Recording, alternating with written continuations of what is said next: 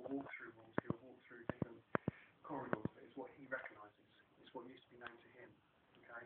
But he, my guide is trying to show me like um, hallway with lots and lots of doors. Seeing doors, lots, and lots of doors on either side. And I feel like, you know, we've got the numbers on all the doors here. He's like showing me all number of doors. And he keeps showing me 62. So it's a place he would have been. He's also trying, 13 is unlucky for some, but he keeps giving me the 13. But he's talking about being in the basement. One. show me that again. It's my guide, just backed up a little bit.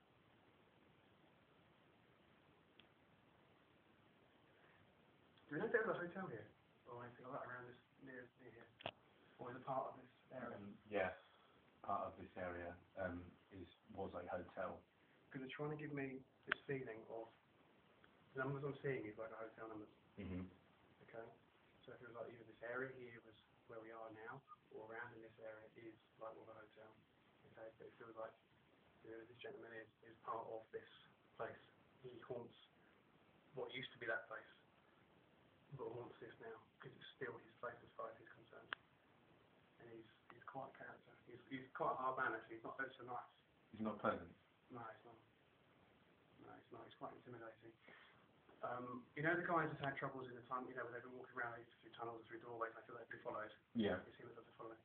Right. Okay? It's him that does the following. Um, he does it just purely out of intimidation. It isn't just the fact that he's really enjoying it, he's maliciously enjoying it. It's not like I'm just enjoying it, it's fun. He's maliciously enjoying it.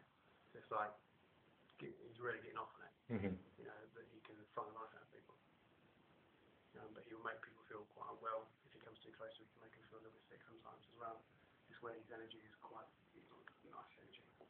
You know, and I don't expect he's probably a nice person on this side of life.